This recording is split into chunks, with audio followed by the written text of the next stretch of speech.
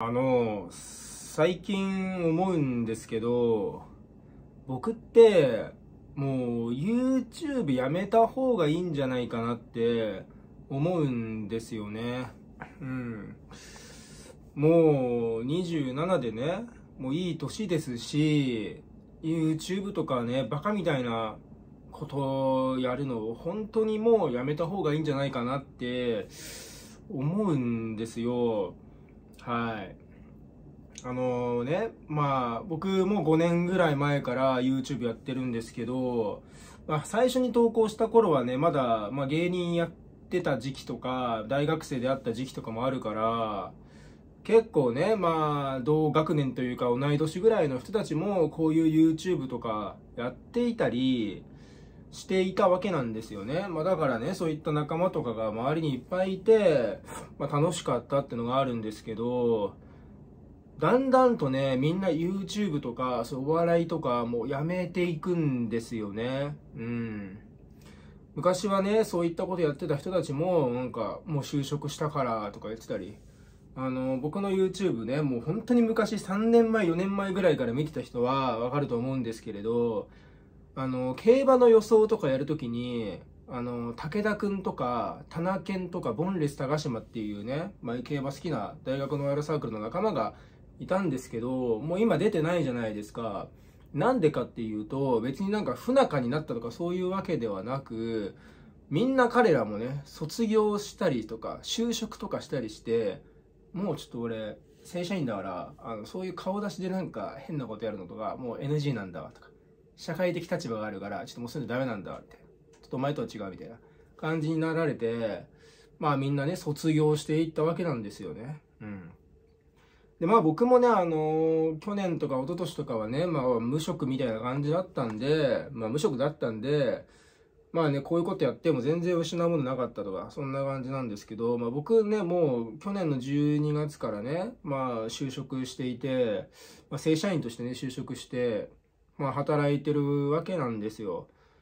で、まあ正社員でちゃんと働いてて、こういう変な YouTube やってるやつって僕周りに知らないんで、僕の周りで YouTube やってる人って言ったらフリーランスで働いてるとか、あるいはまあ本当に芸人とか、まあ YouTube 一本でやっていくぜとか、そういう人がこういうことをやってて、なんかもう、ちゃんと硬いところに収まったような人っていうのは、まあ、僕が硬いところに収まってるかはわからないんだけど、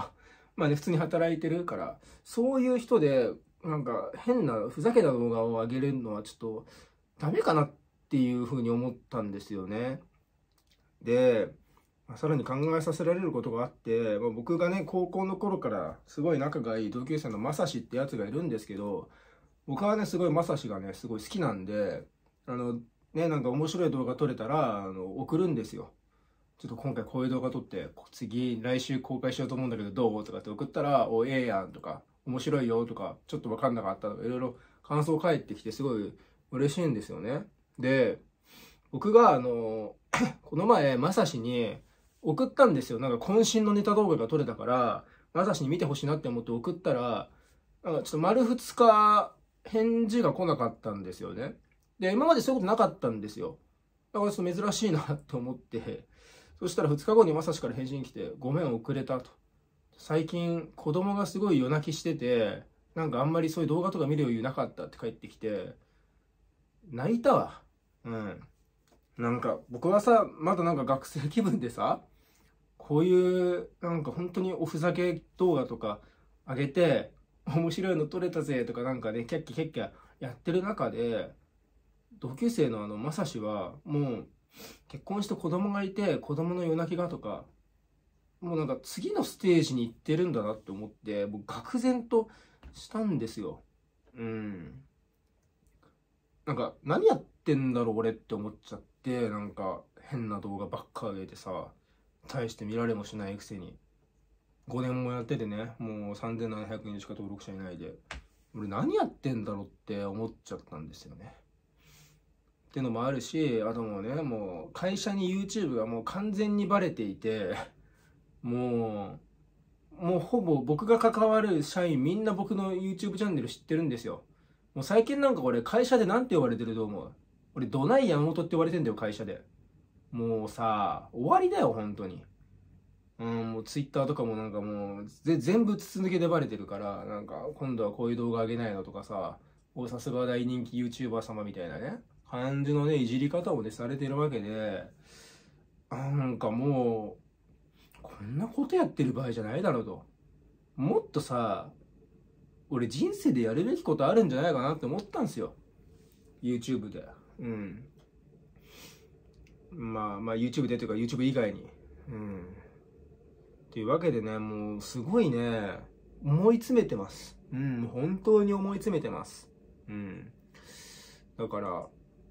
まあ、かといってね、まあ、YouTube すぐにやめるってことはしないけど、